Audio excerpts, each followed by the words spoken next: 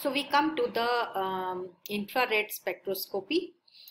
Now, as the name infrared spectroscopy suggests that the radiation uh, coming under the infrared have less energy and they are not able to bring about electronic transition when they pass through an organic molecule. So, in fact, they bring about vibrational excitation. So, what is vibration? It is a to and fro motion and because of this phenomena, the IR spectroscopy is also known as the vibrational spectroscopy. So, each vibration results in a peak in the IR spectrum and each peak corresponds to a covalent bond in a organic molecule. So basically the IR spectrum analysis helps to determine the structure of a organic compound. It helps us to determine the different functional groups that are present in the organic compound. Now all vibrations uh, they do not give about a peak in the IR spectrum. That means what are the conditions that should be required for a molecule to absorb IR radiation and after absorption of the IR radiation, not all vibrations will bring about a peak in the IR spectrum. So what are the different conditions? So first of all, the organic molecules should be covalent. So that means covalent bonds, they actually behave like stiff springs. Now, like ionic bonds, they are very, very strong bonds. So they can never absorb IR radiation and after and they can never vibrate.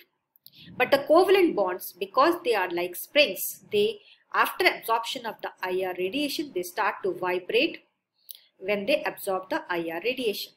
So the second condition is that the frequency of vibration should be equal to the energy of the incident radiation. We very well know E is equal to h nu.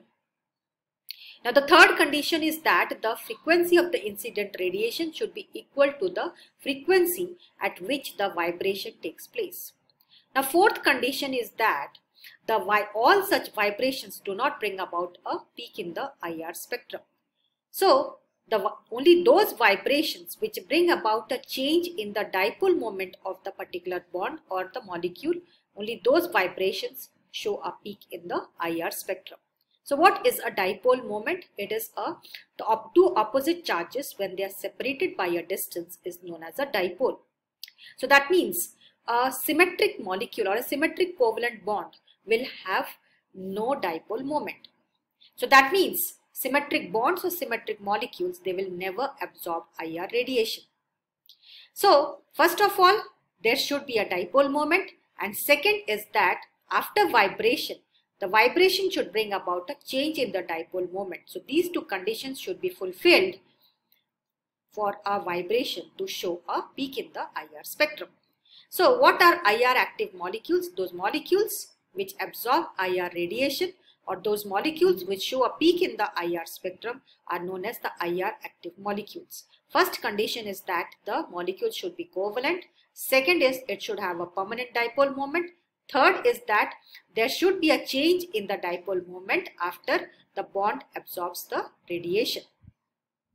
Now carbon dioxide is one such molecule which does not have a permanent dipole moment but still is IR active. So this is exception. And oxygen, nitrogen, hydrogen, they are examples of symmetric molecules and hence they are IR inactive. Now the vibrations are of two types one is the stretching vibration, another is the bending vibration. Stretching vibration is if the vibration is taking place along the bond axis. Now there are two types of stretching vibration. One is the symmetric, another is the asymmetric. Symmetric vibrations means that if the vibration is taking place in the same direction, this is the two covalent bonds and the, and the stretching is taking place across the bond length and it is in the same direction. Asymmetric stretching is that the vibration taking place along the bond length is in the opposite direction. Now bending vibration, if there is a change uh, in the bond angle, the vibration taking place brings about a change in the bond angle, those are called as the bending vibration. So the, there are four types of bending vibration. One is in plane, plane rocking, another is in plane scissoring. Now in plane rocking and in plane scissoring takes place uh, the vibrations take place in the same plane.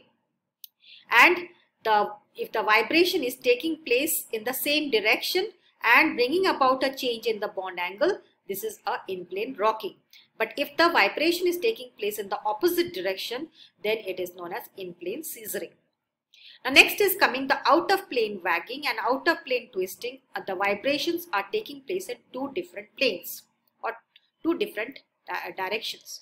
So one is your out of plane wagging means that the vibration is taking place in the same plane. Whereas out of plane twisting is taking, the vibration is taking place in two opposite uh, planes. In all such vibrations, they are bringing about a change in the dipole moment. Hence, all these vibrations will show a peak in the IR spectrum. Now, this is the IR region. So, in the electromagnetic spectrum, the IR region is divided into three regions. One is the near, mid and the far IR. Now it is the, here you see the near, middle and the far and these are the corresponding wavelength, wave number and the frequencies.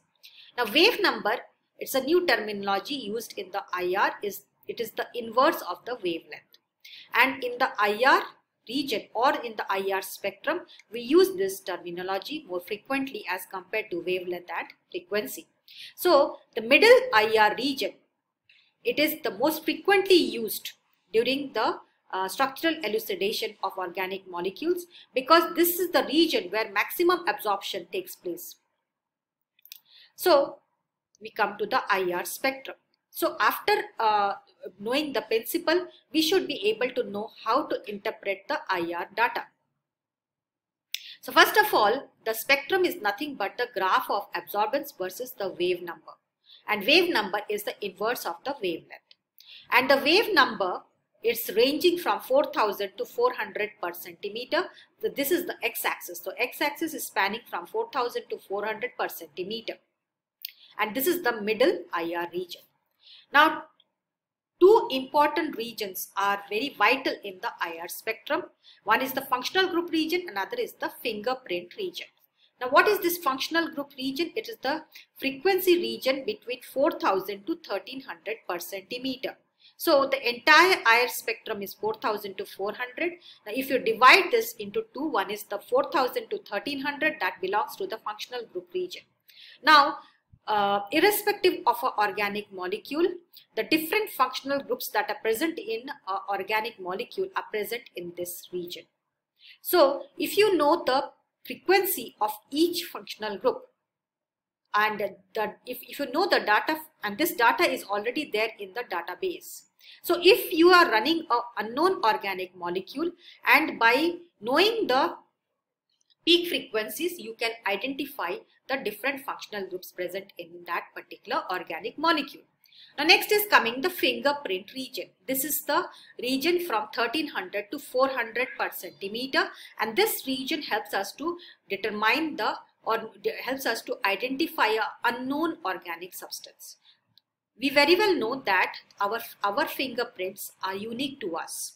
So that means no two compounds, however closely related, can have identical or superimposable bands in this region. So this is the IR spectrum of a um, typical IR spectrum. This is how a IR spectrum looks like. And this IR spectrum of this particular compound, 3-ethoxy 4-hydroxy benzaldehyde. Now here this graph is the y-axis is uh, showing the relative transmittance. You can also show relative absorbance. And the x-axis is the wave number and it is spanning from 4000 to 400 and the region from 4000 to 1300 is the finger functional group region. So and the 1300 to 400 is the fingerprint region. So that means all the different types of functional groups present in a particular compound, organic compound, will be showing a peak in this particular region. So each peak is it corresponds to a particular covalent bond in this particular compound. And the fingerprint region, it helps us to identify what the name of this compound. Now this is the fingerprint region of the, this is the IR spectrum of formaldehyde and we know that how many types of, uh, of uh, covalent bonds are there it is a ch2 it is c double bond o these are the typical uh, covalent bonds present in this particular compound. So let us see the peaks here. So the peaks are CH2 asymmetric stretch, stretch and this is at a frequency of 2850 per centimeter. This is a symmetric uh, CH2 symmetric stretch corresponding to 2785 per centimeter. this is a C double bond O stretch corresponding to 1750 per centimeter and these are some other peaks that are present in this compound. so if we know the uh, mm, peak frequency of the different functional groups, we will be able to identify the different functional groups that are present in an unknown organic compound by the position of the peaks. So lastly, we are coming to the application of IR spectroscopy. The IR spectroscopy has far more better uses as compared to a UV vis spectroscopy. So first application is that we can identify an unknown compound from the fingerprint region. Second is the identification of functional groups in organic molecules from the functional group region. Third is we can distinguish between inter and intramolecular hydrogen bonding. Fourth is we can determine the structure because it gives valuable information regarding molecular symmetry, dipole moment, bond length, bond strength. And lastly, IR spectroscopy is also used widely for the detection of impurities for the production of many chemicals on an industrial scale. So that means if you are going, if you are producing chemicals on an industrial scale, so most likely that there should be impurities in those chemicals. So IR spectroscopy helps us to detect the such impurities. Now, for example, a small quantity of ketone in a hydrocarbon is detected by the appearance of a band at 1720 per centimeter which is the characteristic frequency of a carbonyl group. So that means the hydrocarbon if it if a if your compound is a total hydrocarbon. So hydrocarbons do not have any functional group excepting the ch so if you see a, uh, you know your compound is a hydrocarbon, but if you are getting a peak at 1720 per centimeter, so this 1720 per centimeter, it's a characteristic frequency of a carbonyl group. So if you are getting such peak in a pure compound like hydrocarbon, so you will automatically know that there are some impurities present in the hydrocarbon. So these are all the applications of IR spectroscopy. Hope you have understood the basic principle of IR spectroscopy as well as the application. Thank you.